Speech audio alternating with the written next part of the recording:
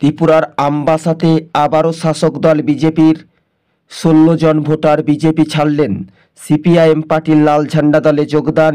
এই মুহূর্তে নির্বাচন ঘোষণা হতে মাত্র হাতে সময় দুই মাস। এবার জনজাতি ভোটাররা সিপিআইএম পার্টির ওপর কি আস্থা ভরসা রাখল?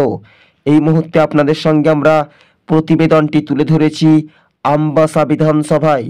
শাসক গোষ্ঠী বিজেপির ষোলো জন ভোটার বিজেপিকে ত্যাগ করে সিপিআইএম পার্টির লাল ঝান্ডা দলে যোগদান করেন। তাদের হাতে লাল ঝান্ডা দলে পতাকা তুলে দিলেন সিপিআইএম নেতৃত্ব। বিজেপি ছাড়লেন কারণটা বিজেপি দল আখেরেও কিন্তু ভালো নয়।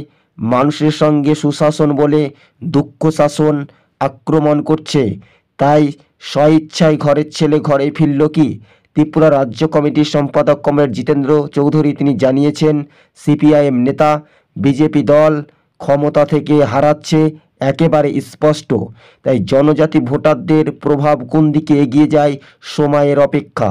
তেইশ নির্বাচন, উত্তর পূর্ব ছোট্ট একটি রাজ্য, ষাট আসন বিধানসভা।